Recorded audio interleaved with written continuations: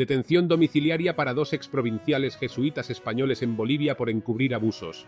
Soy Vicente Montesinos, esto es Adoración y Liberación y... arrancamos. La justicia de Bolivia ha dictado este jueves detención domiciliaria para dos exprovinciales de la Compañía de Jesús, Marcos Recolons y Ramón Alés, ambos españoles, acusados por encubrimiento en el caso de pederastia del fallecido jesuita Alfonso Pedrajas, que salió a la luz hace casi un año. El fiscal general del Estado de Bolivia, Juan Lanchipa, les señala como cómplices en la investigación sobre presuntos abusos sexuales a decenas de menores perpetrados por el fallecido jesuita español Alfonso Pedrajas en 1971.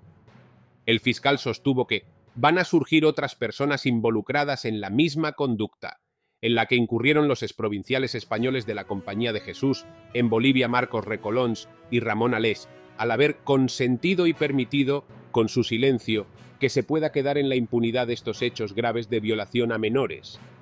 Se ha dispuesto la prohibición de ambos sacerdotes de comunicarse con algunas personas del proceso, salir del país en el ámbito territorial y la detención domiciliaria, informó Daniela Cáceres, directora de la Fiscalía especializada en delitos en razón de género y juvenil. Cáceres mencionó que Recolons y Aley en ningún momento en su calidad de provinciales habrían denunciado o habrían seguido procesos administrativos sobre los abusos que cometió el cura Pedrajas. La Fiscalía también ha instado a la Compañía de Jesús a reconducir su conducta en el manejo de estos hechos, puesto que la Orden ha habilitado un canal para recibir denuncias de posibles casos de abusos, y recordó que solamente el Ministerio Público y la Policía pueden realizar esa tarea. Por su parte, la Compañía de Jesús en Bolivia publicó una nota la semana pasada en la que manifestó su respeto a las decisiones de la justicia y para aclarar que la Compañía de Jesús no se pronunciará sobre el alcance de esas medidas sustitutivas.